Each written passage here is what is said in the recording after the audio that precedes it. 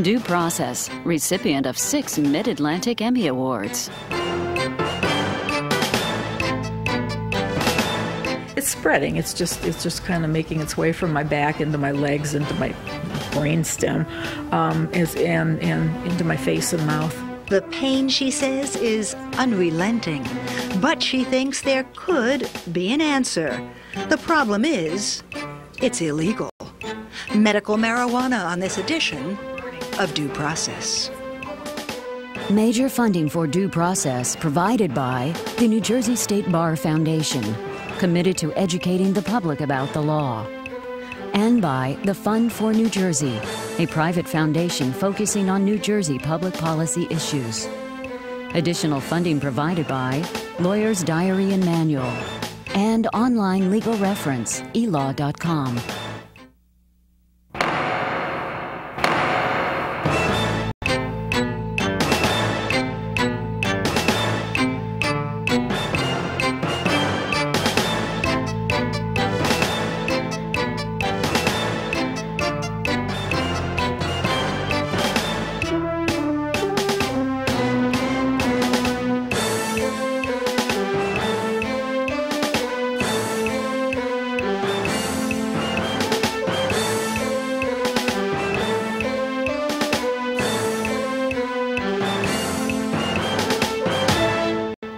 Marijuana.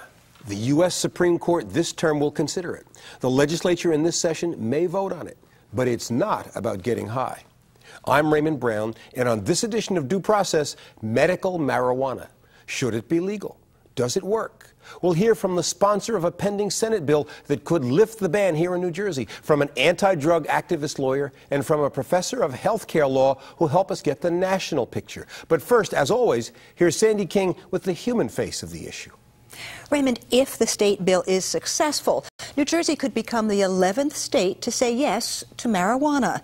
Not for recreational use, but for the chronically ill, whose doctors say it could help.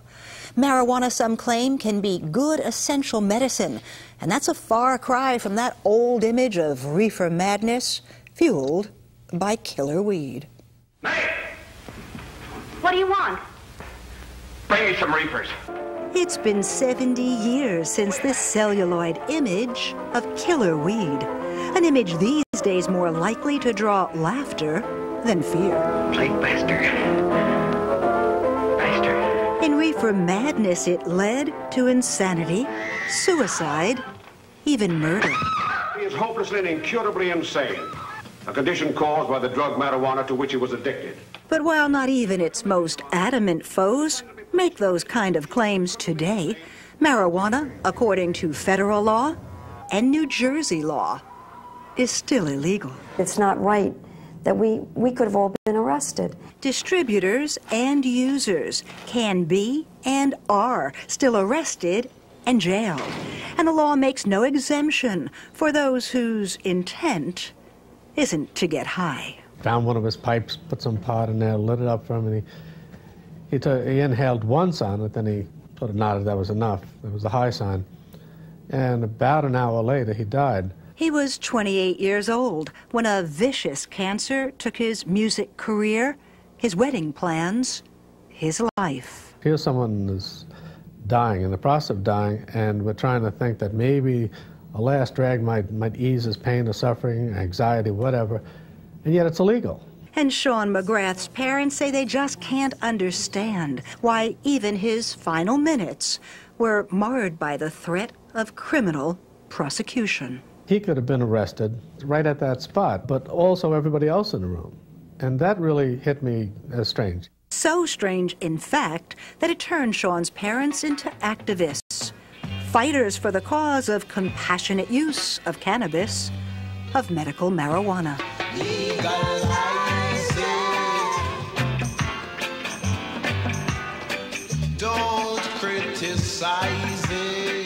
The experience of thousands of individuals has demonstrated that it is only the use of the natural marijuana which alleviates uh, their symptoms. That's extremely important. And Roberta Massey thinks it could be important for her, a way of controlling the intractable neuropathic pain that she lives with every day. I can feel the burning in, this, in the leg, and it's almost like a vise is clamped around it. Morphine, she says, turns her into a zombie.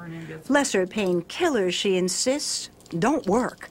Not even the Marinol that her doctors prescribed. Marinol is a marijuana extract, but when they do the extraction, they lose an awful lot of, of properties of, of natural marijuana. So it doesn't really do anything. I haven't had any luck with this at all. She's heard that the real thing would be different. But Roberta says she's afraid to try it and has no way to get it, so long as it remains illegal. If I could get marijuana tomorrow, I probably would try it. And I think the marijuana would do it. And this doctor says she may be right. But he says it's not so simple as making it legal. Or not. I would not, um, at this time, support the use of medical marijuana uh, for the simple reason that it has not, at this point, been proven to be effective and safe. And in order to be proven to be effective and safe, we'd have to have a series of controlled clinical trials to establish its efficacy and safety. But when Sean McGrath's parents pitched a tent in their yard, a rally to launch a new legislative effort, there was no talk of medical trials. After all, marijuana has been proven to be safer than all the other drugs that doctors have prescribed legally and that have people can overdose with and can die from. Feel like you're about ready? But the bill does provide for physician control, written certification from a doctor that the medical use would outweigh the health risk for a seriously ill patient, a patient like Cheryl Miller. The spasticity all but disappeared, uh, far more effective than Marinol, which is her otherwise most effective drug.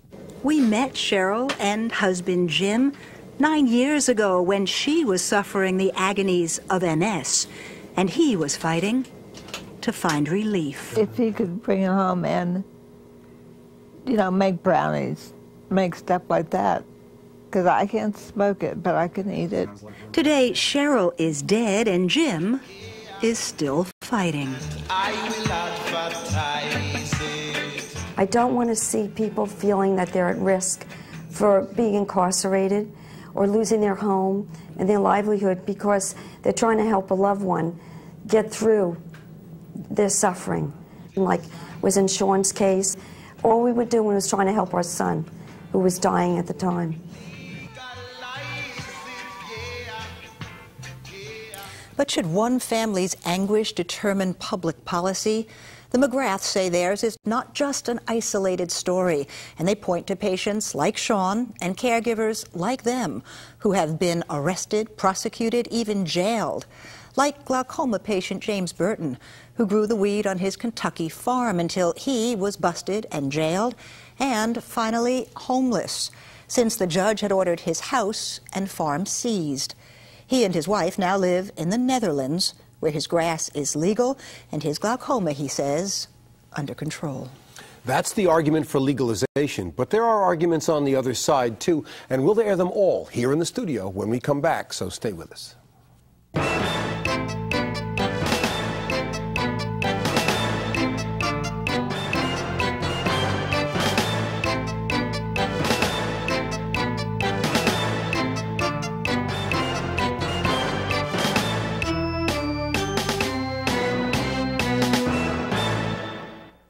For medical purposes, sure.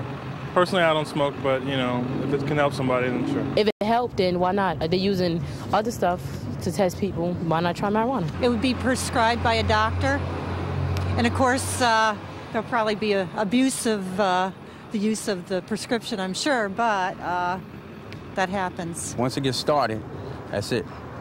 Everybody's going to be selling it. Everybody's mother's going to be selling it. There's going to be all kinds of crime and stuff like that. I don't necessarily want to legalize it, but for medical use, yeah, definitely.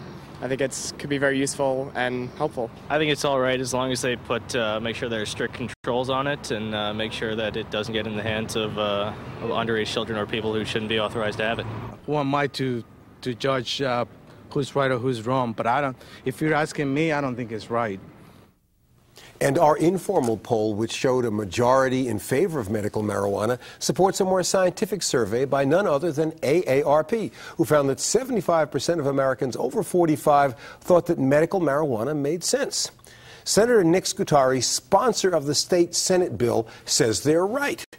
But David Evans, the executive director of Drug Free Schools Coalition in Flemington, is so sure they're wrong that he's filed an amicus brief in the case before the U.S. Supreme Court. And with us from Newark, Seton Hall law professor John Jacobi, the associate director of Seton Hall's Health Law and Policy Program. Welcome to you all. David, let me start from you. Uh, in the picture of human suffering that we saw in the beginning of the program. Those are pretty compassionate stories about people who are, in some cases, just on the verge of death, looking to ease their last few days. Against that kind of suffering, what's the policy argument that says marijuana shouldn't be used as a medicine in that context?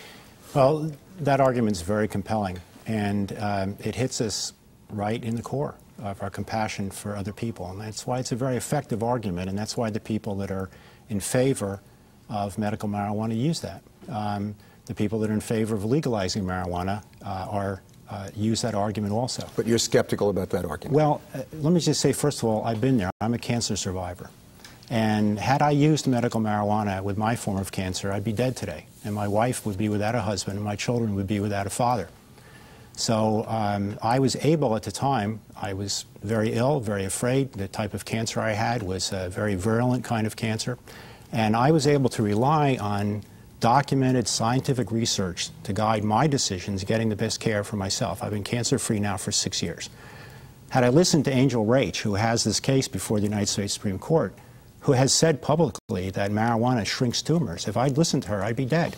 So I think we have to be very careful about the information that we give to people who are in these desperate situations. And if we tell them that marijuana is medicine, it's the wrong information and it can kill people. But let me take this argument one step further. Let's get past somebody making a claim that probably no one in the medical community accepts, which is that it will shrink tumors, and look at the question of whether it can be a palliative to ease suffering at the end of a life, which is an area where there is some greater debate.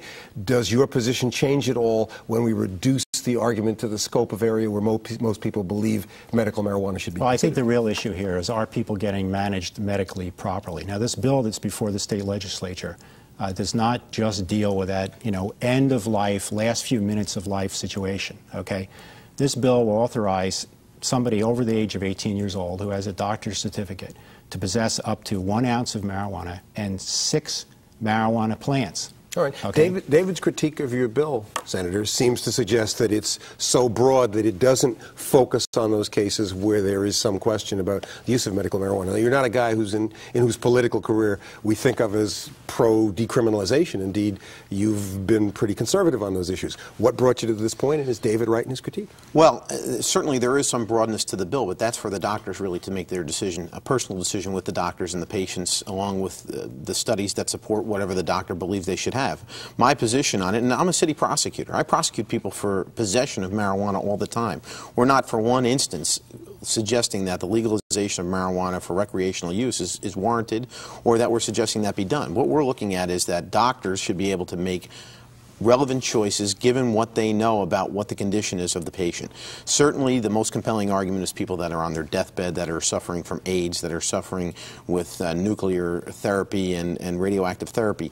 But there is also a case to be made that doctors believe that in certain pain syndromes and wasting syndromes that, that benefits of marijuana might be utilized. And if so, that would be up to a doctor to decide. Does your bill provide the kind of controls that can satisfy people whose criticism is exclusively that we might agree that there might be some use for it, but we think that it's a domino process, that once you prescribe it, it's going to be authorized or accessed by people who shouldn't have it? We believe there is sufficient controls. We're not going to allow people to go to work, to drive vehicles, to operate machinery, to be under the age of 18, and they have to have a certified doctor's certificate. And this can't just be from a one-time visit to a doctor. This would be a doctor that was under the care, that after other treatment alternatives have been evaluated and decided that those weren't proper, that then, then they could go to that type of uh, medication or medicinal marijuana if they believe it's warranted, and only if they believe it's warranted. The other thing that I would say in defense of that argument is that there are 11 other states that have already prescribed medical marijuana to be of some use. And there have been no evidence that's been shown to me to believe that there's this this effect of legalizing marijuana across the across the board. I mean, is New Jersey any less progressive than than California? Is it any less progressive than the other 11 states that have that have done so? Right. John, let me bring you in. Uh, the Ninth Circuit Court of Appeals case that led to the United States Supreme Court is a fairly nuanced legal opinion for lay folks to read. Uh, where does it come out, or how does it affect this debate about the use of medical marijuana in the midst of Commerce Clause and other legal questions that are caught up in that decision? It really doesn't address David's concern that, that uh, the use of medical marijuana might be inappropriate. What the United States Supreme Court case is going to decide is who is the proper body to regulate the use of marijuana. Uh, what the, uh, the United States Supreme Court will decide is whether states will regulate medical marijuana as they regulate other medical procedures, or whether that procedure uh, of administering marijuana will be subject to federal regulation. Uh, so it's a Commerce Clause argument, and the issue is whether the United States Congress overstepped its bounds in applying federal law to prevent states from allowing people who are terminally ill or very sick from getting access to marijuana, as, for example, they get access to opioids, codeine, and other uh, controlled dangerous substances. John, let me ask you an underlying question then is uh, if you go back to the beginning of our show, Sandy King started with the movie Reefer Madness, mm-hmm. which I'm sure you didn't see when it originally came out, but have subsequently seen, as have we all. And the question is whether the discussion has moved from the kind of extreme positions at the time of Reefer Madness to a more sophisticated discussion actually measuring the benefits and harms. For example, have the states or federal authorities engaged in enough examination of the balance so that judgments can be made by legislators and the Congress and even the courts about the relative use, or are we still in the realm of rhetoric on the critical question? Well, there has been a, fair amount of study of this issue. The Institute of Medicine issued a report in 1999 that pretty comprehensively analyzed the medical uses of marijuana, uh, deciding that probably the, the current data shows that the medical use of marijuana is appropriate. Ironically, a lot of people have complained that federal restrictions on the use of marijuana have restricted the ability of people to do good data analysis. David, let me ask you this question. Uh, and let me ask you a hypothetical question, which I know you don't want to answer, as nobody does. But if you were satisfied that the medical community said there is a limited use for medical marijuana in some circumstances to relieve suffering, for example. And if you looked at a bill like Nixon said, if we tinker here or there with the controls, we can make sure it doesn't get beyond the circle of those folks. I'm assuming that your objections would disappear, or is there a deeper policy or other concerns that drives the objection? No, my, my whole point is that we should follow our normal drug approval process in approving any medicine in this country. We shouldn't do it by emotion. We shouldn't do it by popular vote and we should do it by people that are properly qualified to make that decision. This is an attempt to go to do an end run around our normal drug approval process. It's an attempt to do it by popular vote. What they did in those other states is that the organizations that were in favor of legalizing drugs put a lot of money, $30 million in California, okay, to get that resolution through. Okay? So that's what happens. Now, let's, let's see what the doctors have to say. And uh, the professor was not accurate about that Institute of Medicine uh, report. Well, let's just look at what the, the, medical associations say that have done detailed studies of this. American Medical Association is against it. National Multiple Sclerosis Association is against smoke marijuana. Glaucoma Society, Ophthalmology, Cancer, Society for Addiction Medicine, American Pediatrics, all against it. Institute of Medicine said that smoking marijuana is not the way to go. There may be compounds in marijuana. I'm going to get to your question. I have no problem with anything that goes through the normal drug approval process. I would support it. There already is a legal form of marijuana called Marinol. There's another drug also that's met FDA approval. Go through the normal drug approval process. Let's not rely on emotion.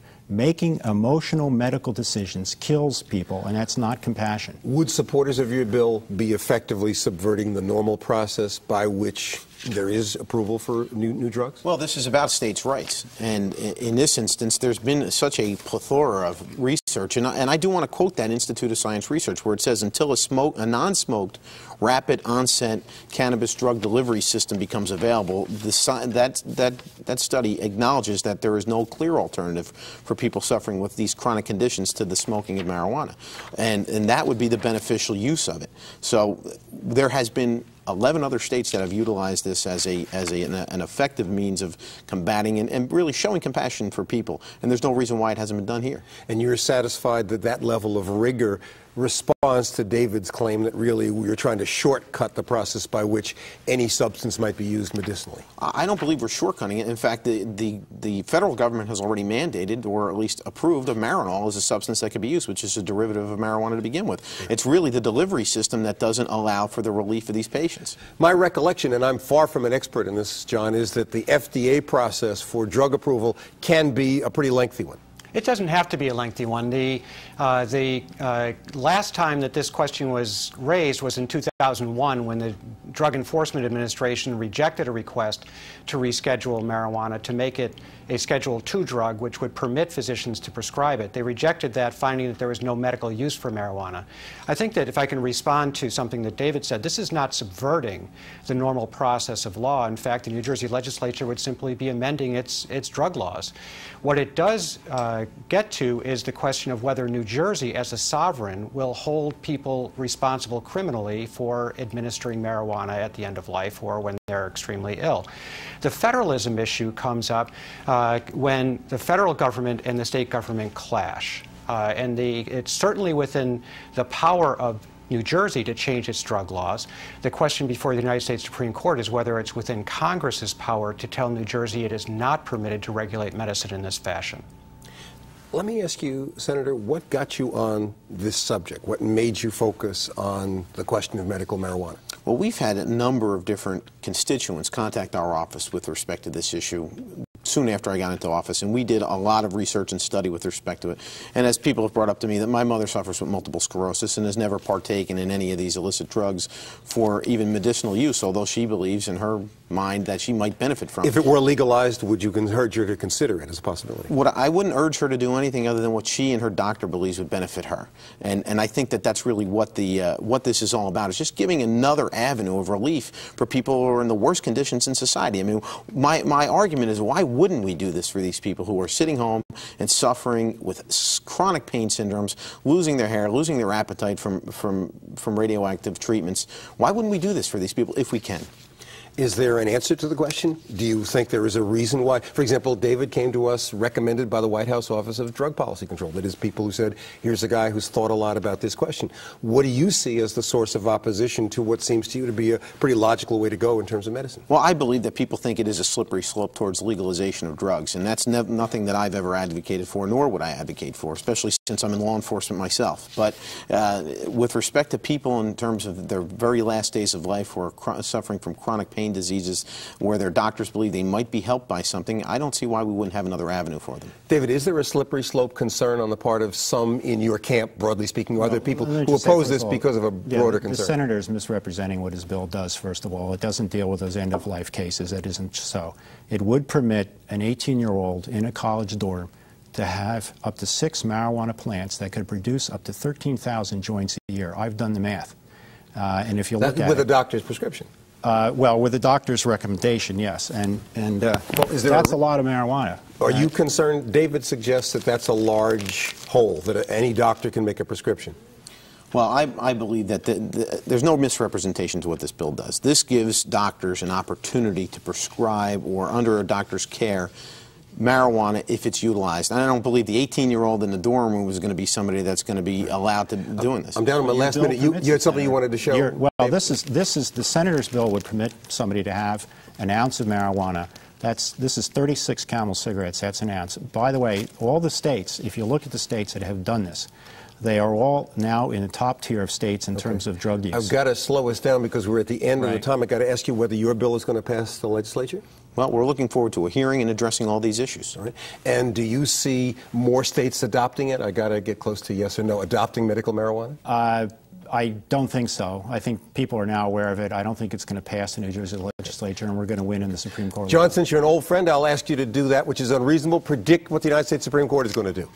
I think the Supreme Court will probably find that Congress does have the power to refuse to allow states to pass the kind of law that the senators. Then we'll be back to the states, and I guess we'll have to reconvene this discussion. With our thanks to David Evans, Senator Nick Scutari, and Professor John Jacobi, that's it for this edition of Due Process. But we hope you'll join us next week for another cutting edge issue of law and justice. Till then, for Sandy Kane, all of us here, I'm Raymond Brown. Thanks for watching.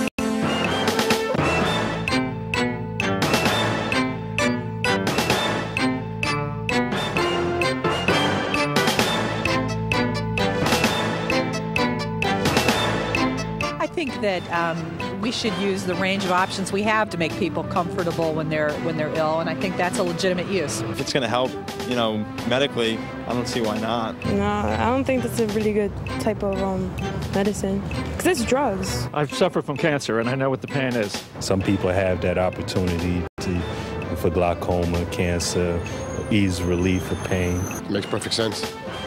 It's medicinal. I think it's narrow minded and punitive not to let sick people who are in pain have the best thing available to help them relieve their pain. If it were legalized, then it, um, it, they would, it would be supervised, and as long as it was prescribed by a doctor, obviously they prescribe it because the, the, the client, the patient would need it. So, yeah, why not? I, I wouldn't have a problem with it.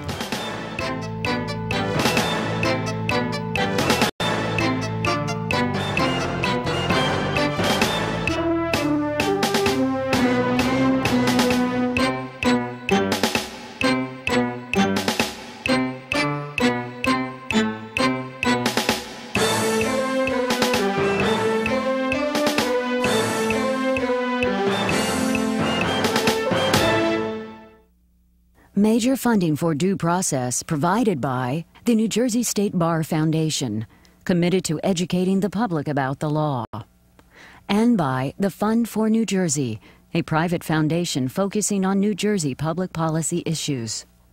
Additional funding provided by Lawyer's Diary and Manual and online legal reference, elaw.com.